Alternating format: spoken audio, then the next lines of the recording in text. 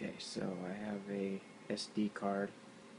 I'm going to take and put this into the Raspberry Pi.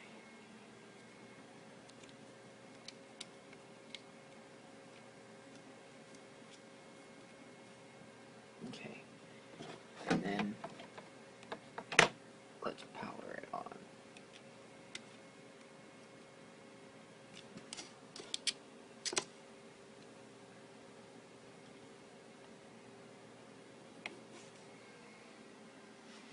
I now have this set up to go right into kiosk mode.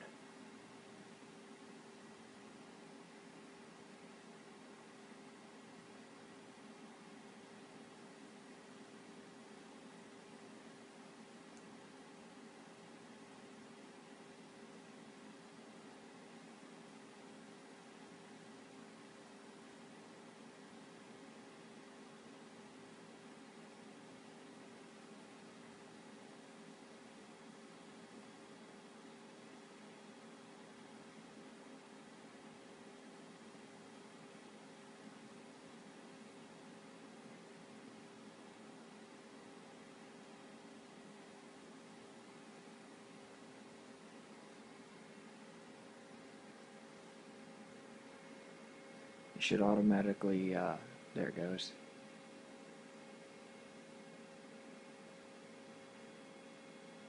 And it will bring up the website or the uh, web web browser of the uh, site that I want to come up.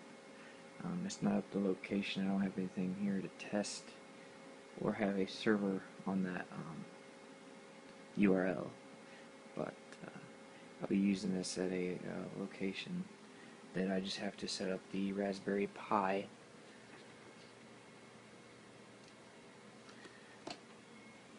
And it will come up like this. And I shouldn't need a keyboard or anything. Of course uh,